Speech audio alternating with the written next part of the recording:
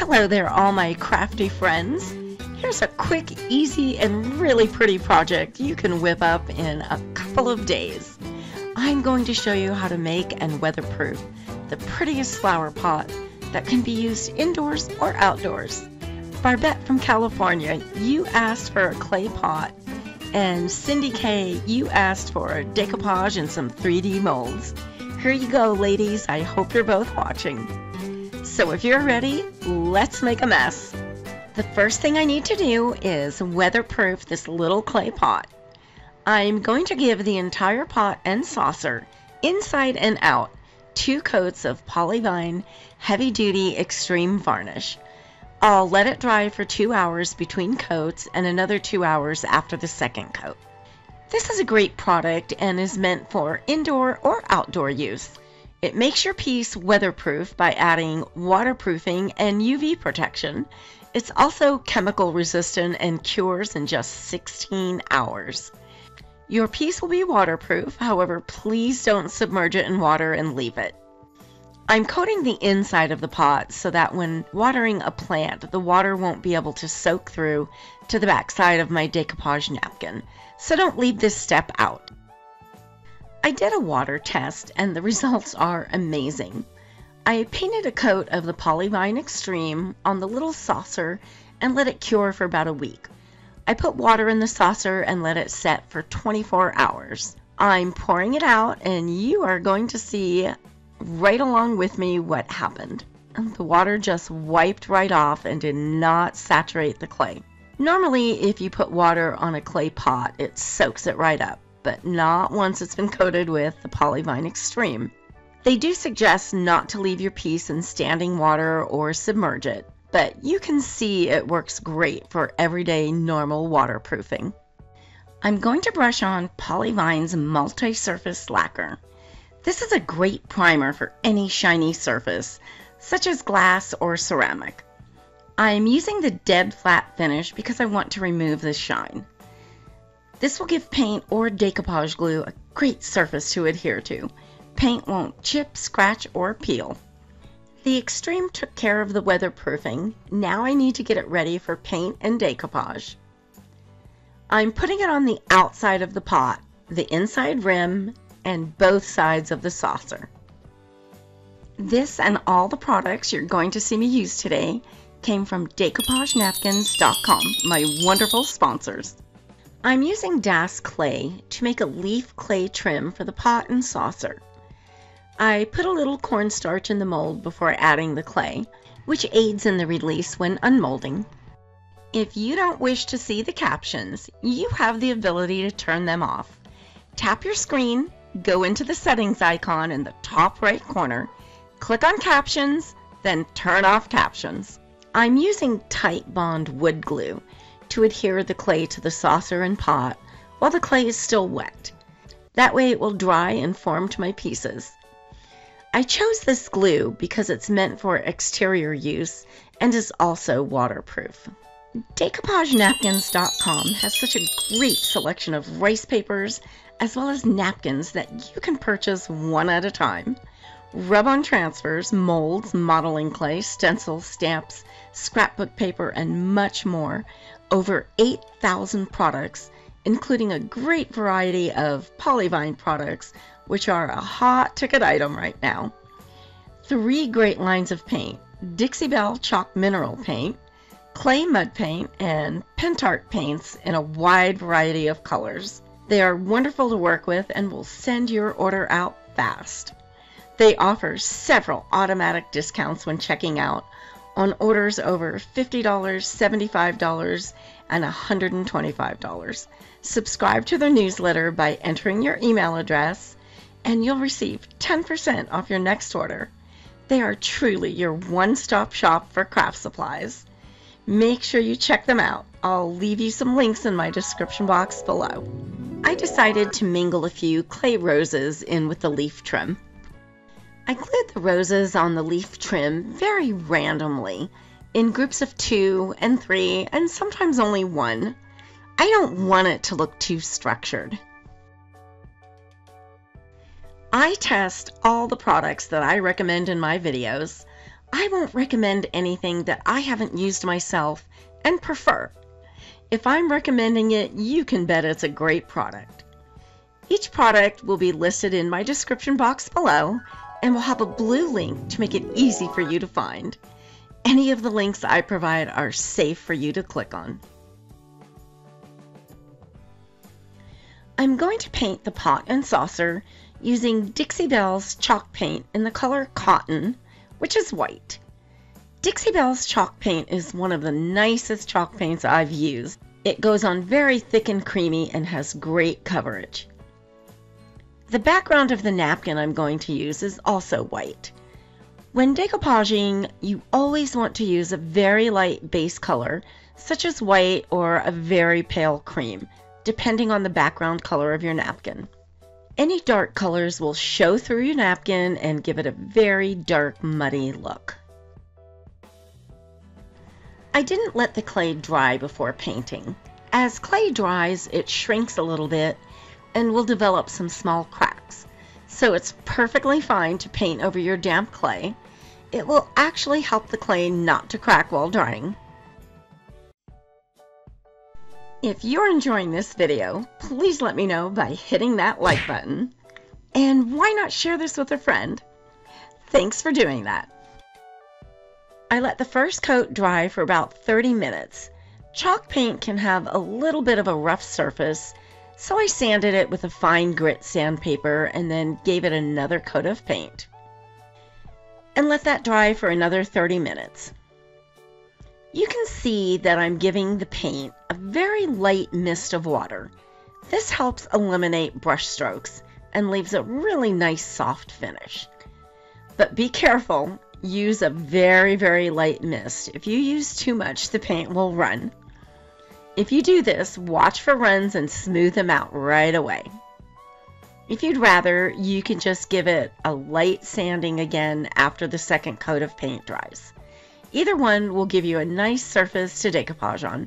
While the pot and saucer are drying, I'm going to get my napkin prepped and ready to go. I love this napkin, but unfortunately the pot is small, so I won't be able to use the Eiffel Tower. I'm going to separate the bottom floral trim and white fence from the rest of the napkin. I'm using a water brush to do this. A water brush has a cartridge that you fill with water and then brush it on the napkin or rice paper. The water dispenses easily, so this is really convenient. You can find this in my description box below in my favorite tools section, just in case you want to check it out. When decoupaging, you always want to tear your napkin or rice paper. A torn edge will blend so much better than a sharp cut edge. This napkin is three plies, so I'm removing the bottom two, as I'll only be working with the top ply that has the print on it. I'm removing as much of the background as possible. This will make your finished project look much better.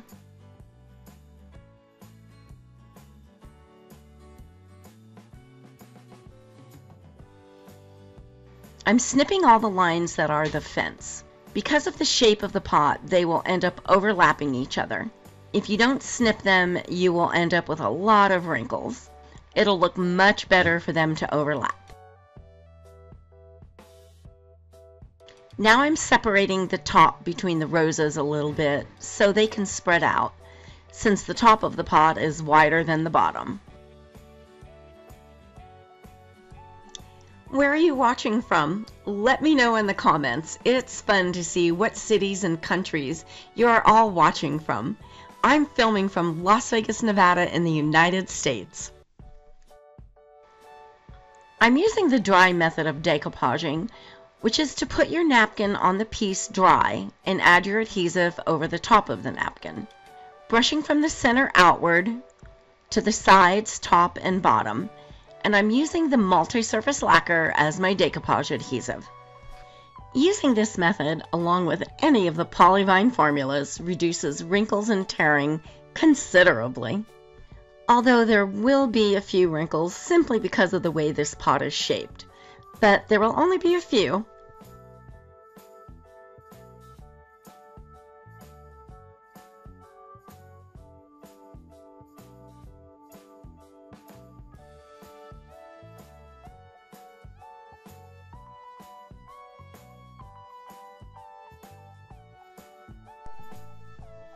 Send me a comment and let me know what type of project you would like to see next. Decoupage, mixed media canvases, or more mason jar decorating. Your suggestion could be my very next video. I answer every single comment I receive. I love hearing from all of you and look forward to reading all your comments.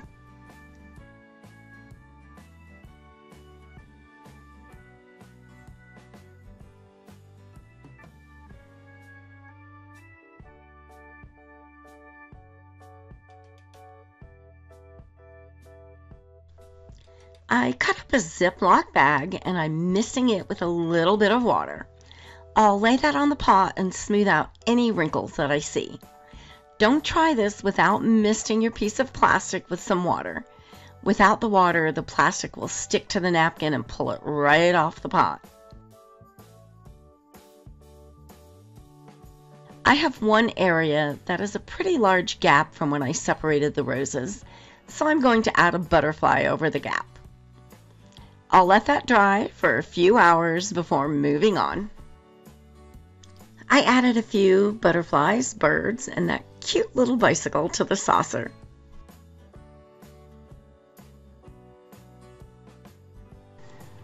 Once dry, I gave the pot and saucer a coat of the Polyvine Extreme to protect all that beautiful decoupaging. I let that dry for two hours.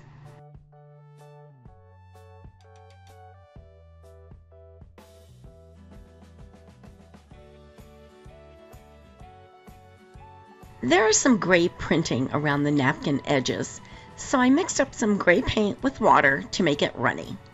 I am dabbing it around all the images to blend it in. The water makes the paint easier to blend with the existing napkin. It makes the color a little more subtle. I did this on the saucer and on the top edge of the flowers.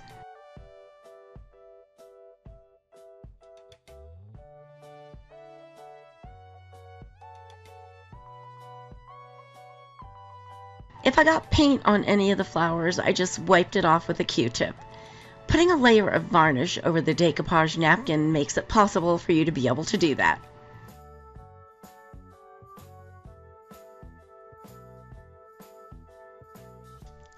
After I did the gray, I dabbed a little white from the top down to blend it together.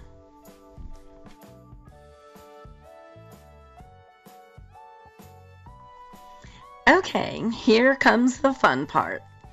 I'm going to add some antiquing to the trim using this burgundy paint that is the same color as the dark roses in the napkin. I'm adding water to make the paint really runny. I want it to get into all the little nooks and crannies easily. You can make antiquing medium out of any color paint by adding water. I'll brush it on, making sure it runs into all the cracks. Then I'll wipe it off right away with a soft cloth. I cut up old t-shirts into little squares and that works great. Make sure you wipe it off before it dries. I do it in sections to make sure that doesn't happen. You have to add some gloss varnish on your piece to be able to do this. If there isn't a gloss, the paint will grab and you won't be able to wipe it off.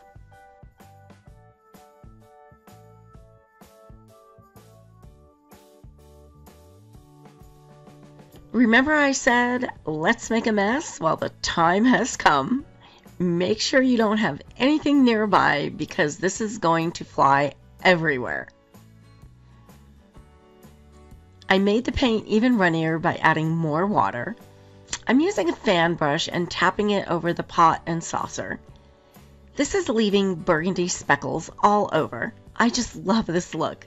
It gives a very vintage look to your pieces. When I was done with this, I had speckles all over my hands and arms. It's messy, but looks so cool. I'll let this dry for about an hour.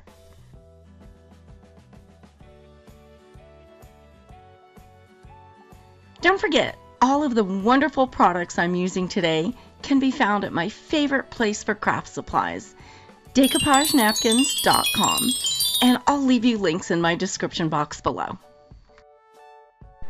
I gave the pot and saucer two more coats of the extreme varnish to protect all the beautiful work I had just finished. I waited two hours between coats. Cure time is 16 hours, but I waited 48 hours before adding my plant. This beautiful pot is now weatherproof.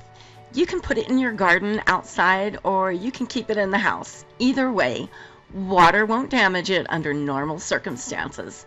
Remember, don't submerge it in water and leave it. I put together a playlist of some other tutorials you may enjoy. Click the picture on the right to be taken directly to that playlist. Thanks so much for watching and I hope you enjoyed this video. Don't forget to subscribe by clicking my picture in the top right corner so you don't miss any future videos.